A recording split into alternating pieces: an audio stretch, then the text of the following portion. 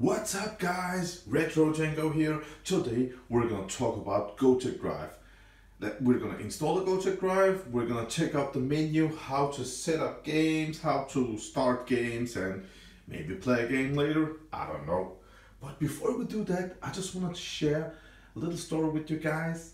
Back in the days when we bought our Amigas, we could have hard disk solutions. I started with an Amiga 600. I didn't have a hard disk, but there were hard disks of uh, 20 megabyte, 40 megabyte, uh, small hard disks, and I don't know how many megabyte this is, but you could buy this, and I mean, the prices were as much as an Amiga 600, maybe more, I don't know, but you could just connect it here. Um, today we have much more modern solutions with compact flash cards, you guys, uh, where we just install these IDE, to, IDE to a compact flash reader, like this or like this, and install a compact flash card. But back then, after I sold my Amiga 600, when I got my Amiga 1200, they were a cheaper solution.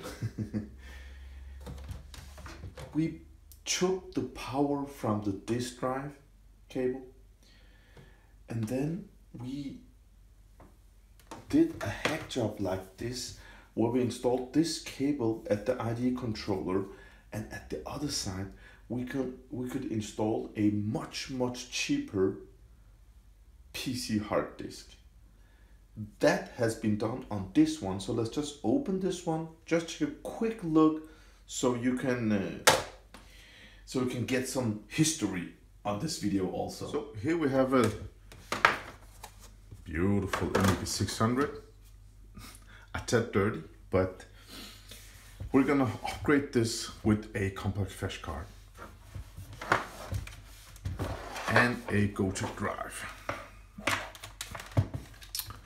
So the Amiga 600, pretty simple power connector, built-in RF modulator, the Amiga 500 had an external one.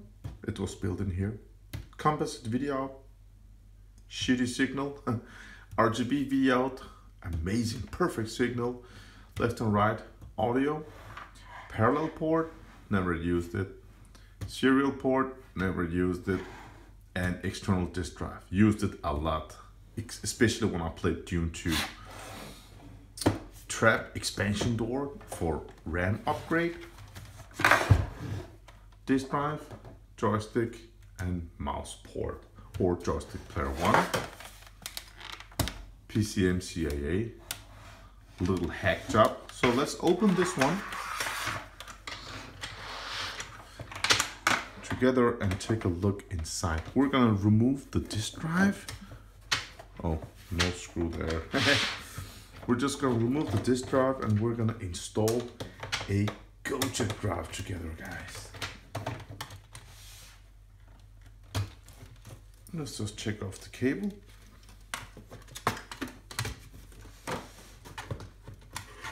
And open this one. There we go. All right, so as you can see, they have installed a converter. Let's just remove that. I'm not gonna use something like this today. Oh, I haven't seen nothing like this before. This is a pro solution. oh man. All right. As I said earlier in the video, we took power from the disk drive, but as I can see here, they take power from this cable.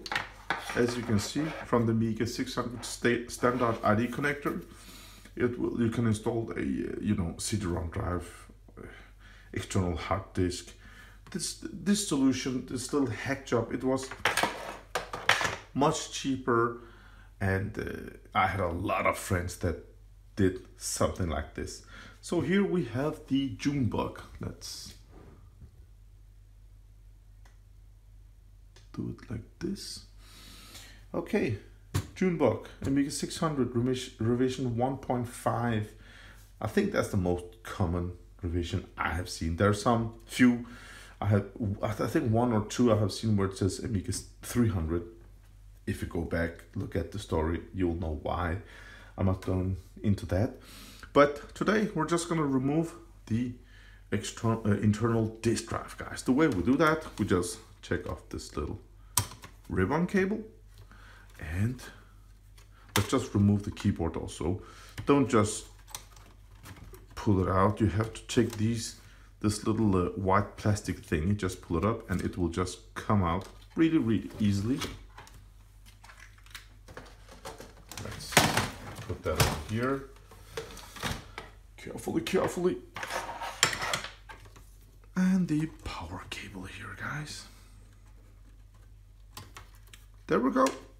So actually you, you have a screw here, but I always like to remove them here first, just to be sure.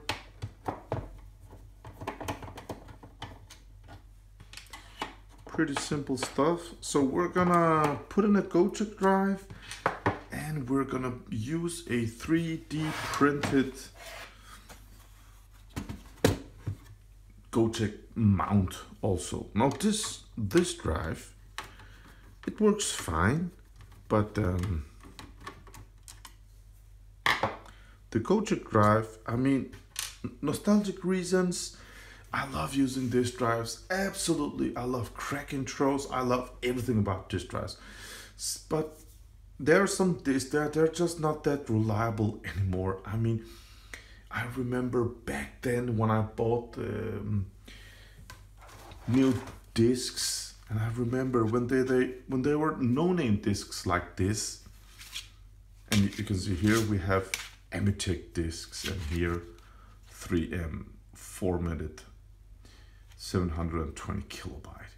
So I remember the seller told me, dude, if you buy these cheap cheap ones, half the price or something like that these magnets they will only store your data and work for about five years after five years the magnetic effects here it will just die out and you will lose your games don't buy the cheap discs buy something like this amitech double the price but they will hold your data for 10 years all the sellers told me those stories guys Amiga magazines and all that.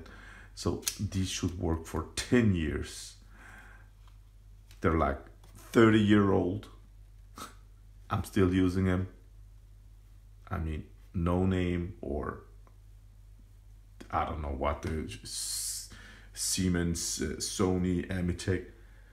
They just work. 30 years old, they work. But some of the discs, I mean, you don't know if they were stored, eh, you know, with bad conditions, like this Amiga, as you can see, we have some rust here. Some of those discs are bad today. So, or if you don't have the discs, or if you don't have room for thousand discs, then this Gotek solution is just so easy, so simple. So we just remove this lovely disk drive that is fully working and take a closer look at the Gotek drive. As you can see, we just use the same ribbon cable, same power cable. Just make sure that the power cable is connected, you know, the right way and you install it in the Gotek drive the right way. If you turn around, put it in the wrong way here or down here, first time you turn it on, you will switch between the 5 volt and the 12 volt connector and you will destroy your Gotek drive. For a split second, it's just unsavable. And this Amiga has not been recapped. And usually when I buy these Amiga 600s, this this uh, little thing here, it used most of the ones that I buy. They're just green everywhere and this one actually looks like the nicest Amiga 600 I have bought back in 2018 I bought everything I could guys but but still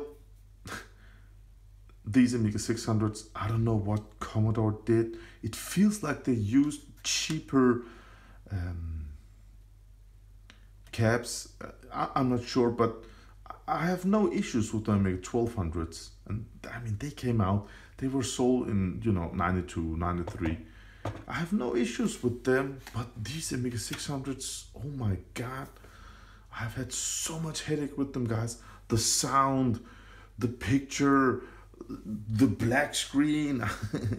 so um, these ones, recap them no matter what. And if they smell fishy, recap them right away and uh, and clean everything uh, because usually they're just green everywhere here and here at the keyboard connection they, they don't look that good so yeah clean them up and recap them so let's get going with the Gotek drive now so it is time to test the Gotek drive I have some different Gotek drives but I just got a donation from from a friend so let's just yeah test that Gotek drive in this video uh, and see how it goes and I actually got a bag donated this is his Gotek drive.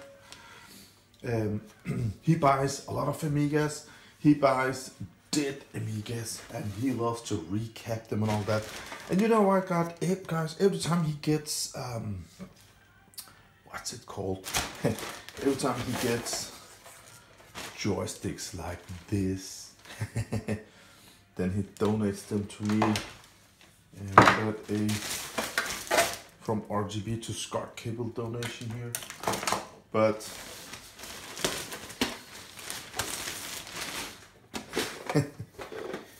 good old discs. He hates them. so every time we see each other, he donates me old Amiga discs. And he loves that. I love them. Oh, Apidya, or what's it called? Megalomania. Impossible Mission. Oh, Theme Park. Used to love that game on the PC. Let's see. Oh, Syndicate. Nice. Pretty squad. Yeah. well, just like almost all of you guys, all of my subscribers, um, my friend doesn't use discs either. Games on discs. But uh, yeah, I, I, I don't know. I I think they're still magical, guys. I love to see what's inside them and all that. So it's just fun for me. Great donations. All right, let's. Um, I just put in the. Uh, I just put in an Amiga 600 disk drive again. Connected everything, and. Um, as you can see, I just put in a disk and it loads and it works. So we don't have no issues with the Amiga 600, you know, CIA chip or nothing else. So the disk drive works. So if I install the Gotek and it doesn't work, then it's not the Amiga's fault. so let's just take off the uh, the disk drive and install the Gotek. Alright guys, so let's take a look at this Gotek drive together.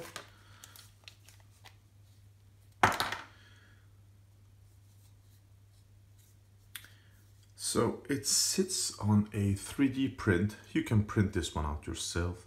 There, uh, uh, if you just write Gotek Amiga 600 and the file you can just get it online. So this is nice. I, I mean, this is for the original eject button for the disk. And um, nice with the hot glue so these don't touch each other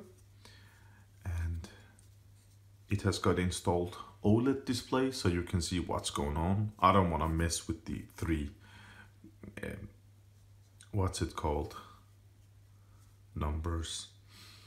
And the OLED display is con connected with these four connectors here. You just put in your USB uh, pin and uh, on the display you can see the games and you can just go uh, up and down with these two buttons.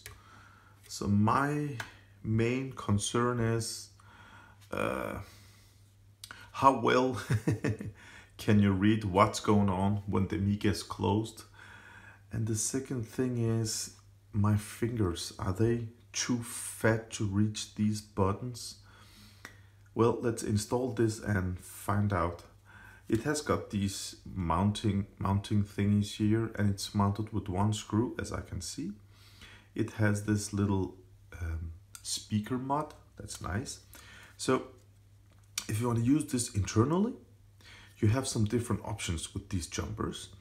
It's hard to read through the camera, but it says S1 and S0. So you will put the jumper on S0, then then it, uh, it works as a you know DF0.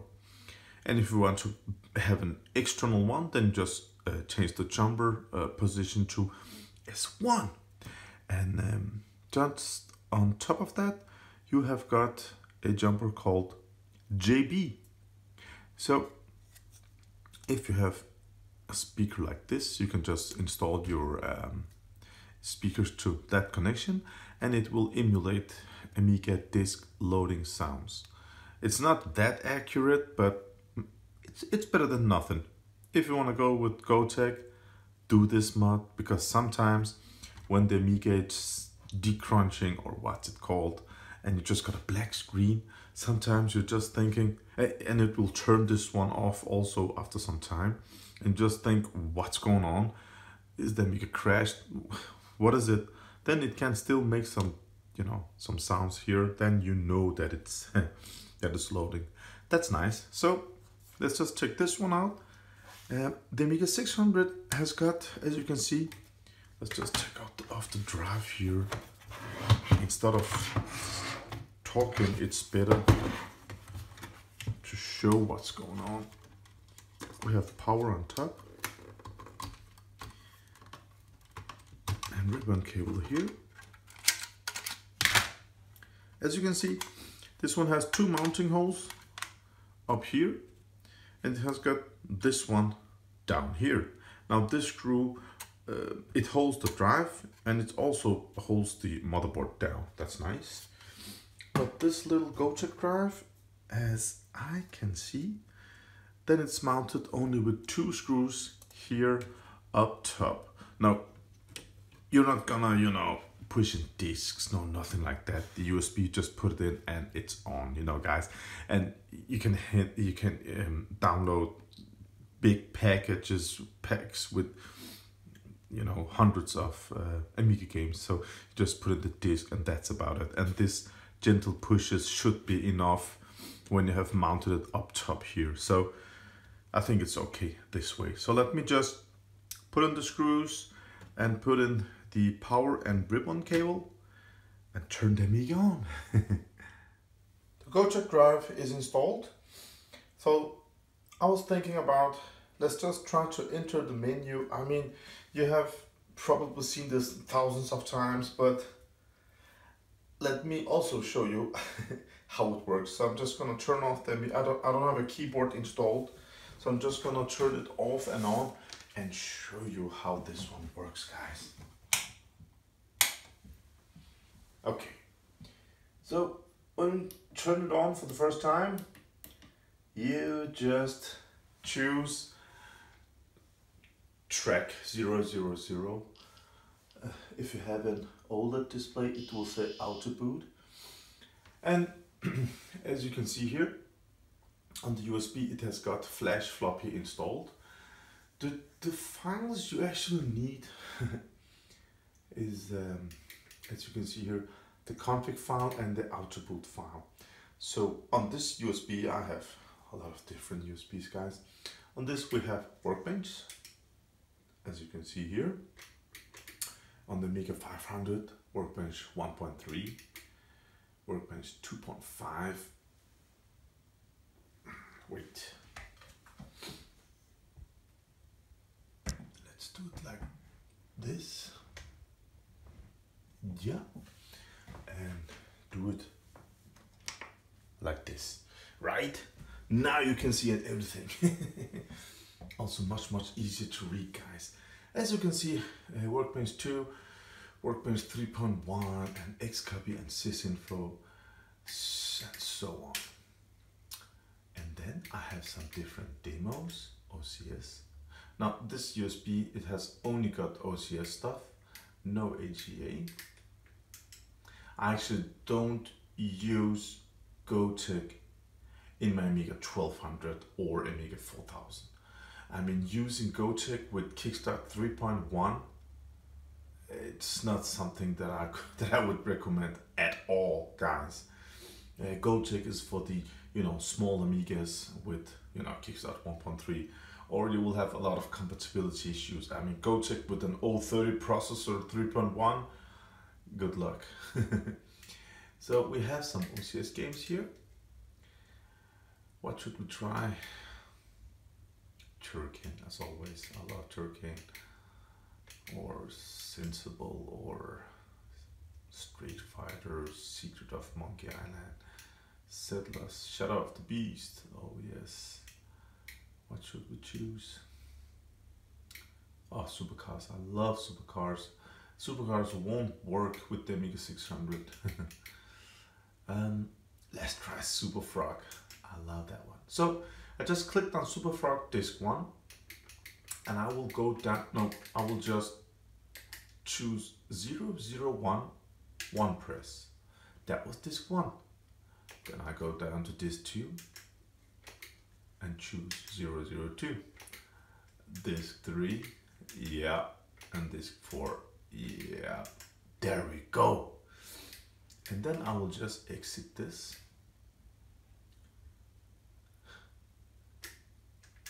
There we go. And you can also use this, uh, do this with the keyboard. So as you can see, 001 is Super Frog Disk 1. Nice.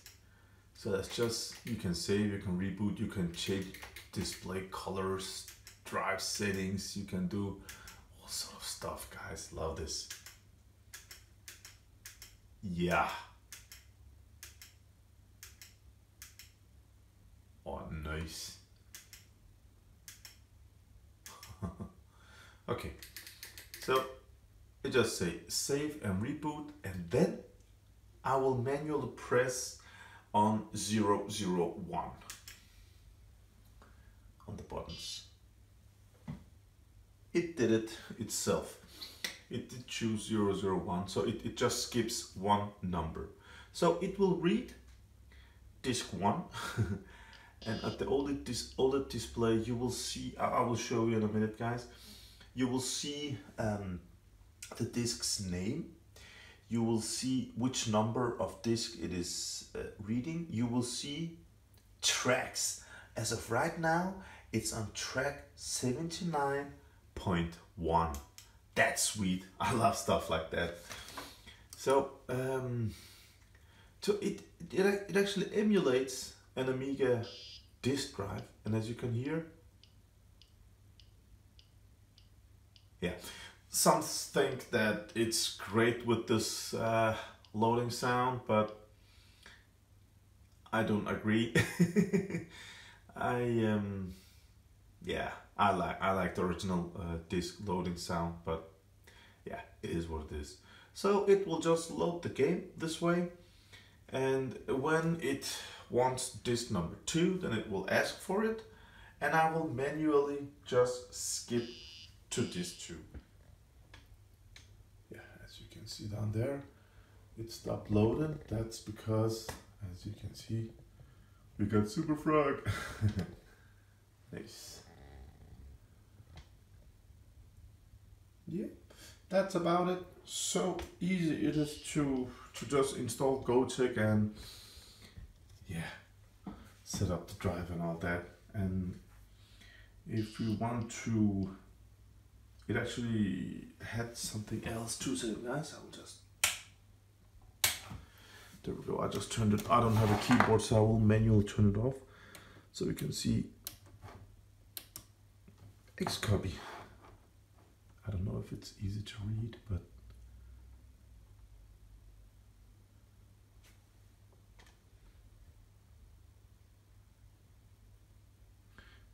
read.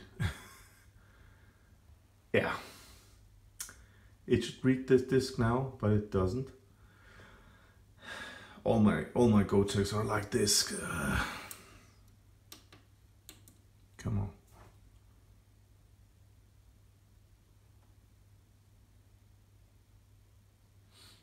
No.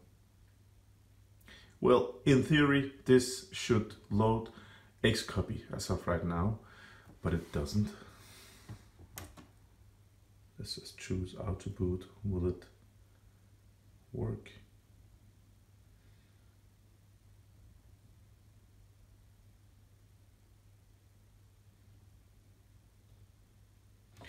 At this point, it's a good idea to just reset it because, yeah, you know what I mean. now it should just boot and go into the menu.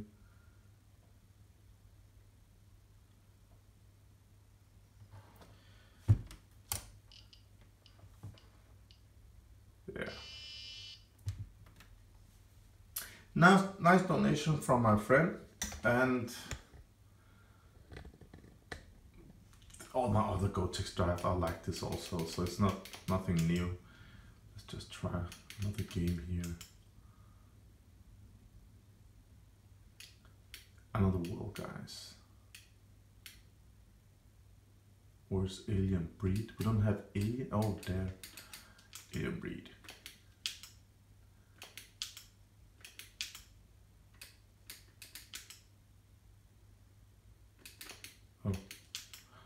I forgot to put in the uh, audio cables.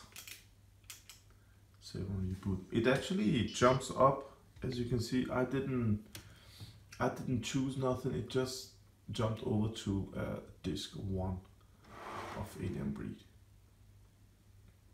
And now it should, yeah,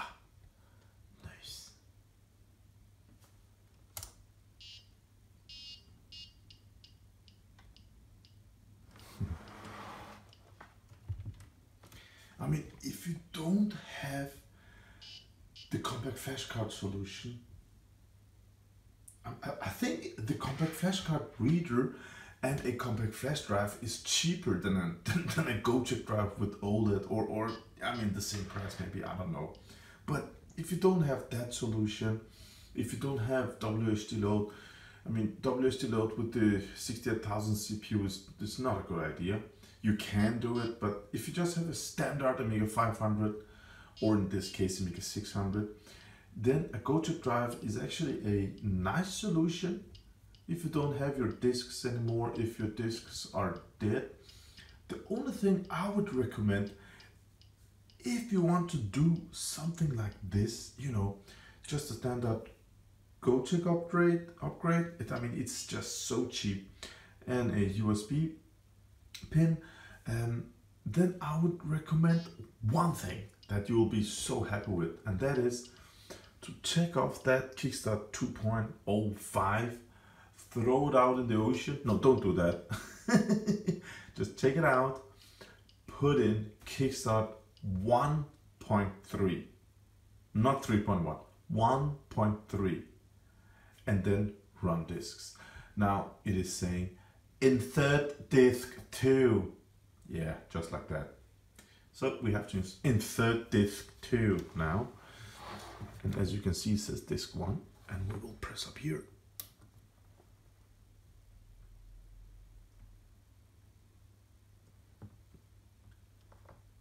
Disk 1 of 2. And we will press one more time. Now it loads. It just, yeah, disk 2 out of 2.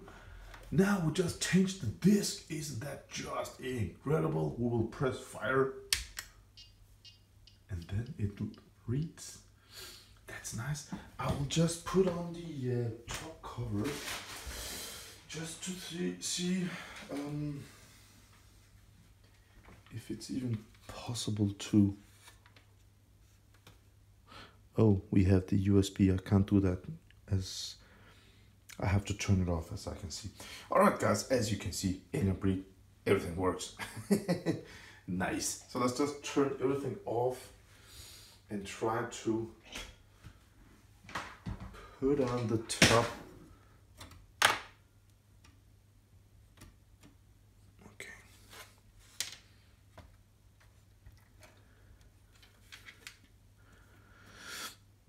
Hmm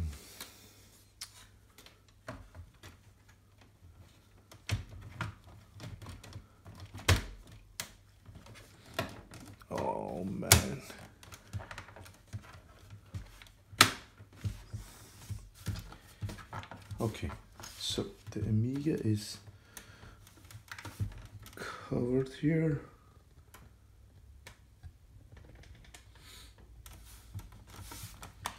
Okay, let's see the side.